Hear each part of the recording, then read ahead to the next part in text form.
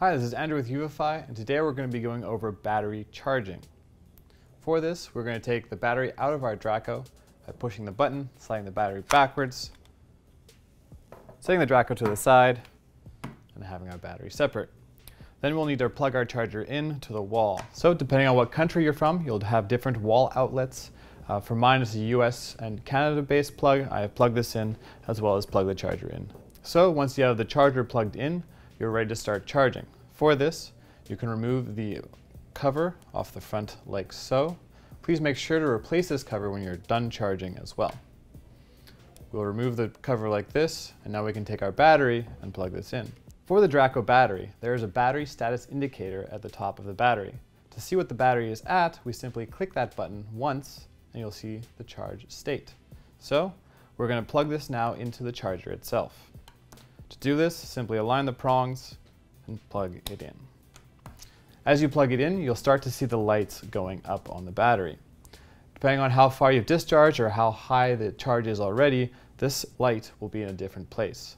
As it charges, you'll basically see it scrolling up to the right. Once it reaches the end of this uh, scrolling across the bars, it'll be fully charged and will go off.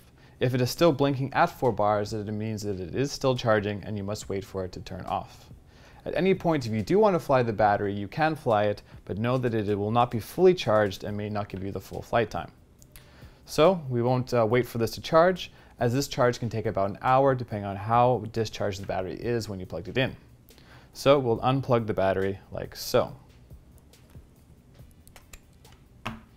Once you've unplugged the battery, please make sure to replace the cover over the prongs. So there are two main error states that you may see on your battery. Both of these are related to hard flight slash over discharge of the battery.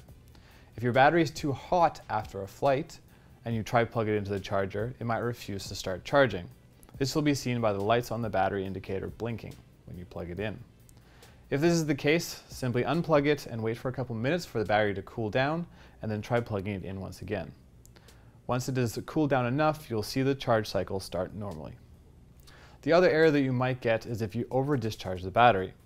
When you're flying Draco, you do have an OSD that tells you the voltage that you're flying at, as well as if your battery is getting low. So please pay attention to these indicators. If you do get caught in the moment and you do over discharge the battery, this is okay, but you'll see one blinking light over on the left side here. This means that the battery is being over discharged and will need a little bit of extra to get back to charge. So to do this, you just plug the battery in like normal, and when you do so, you'll see instead of the two blinking lights that I have here, one light blinking on the left. This is basically bringing the charge back up to normal charge before it starts the normal charge cycle. Basically, once this is complete and fully charged, you can use the battery once again. So once you're done with that, you can put the cover back on the battery and take the Draco and plug your battery back in.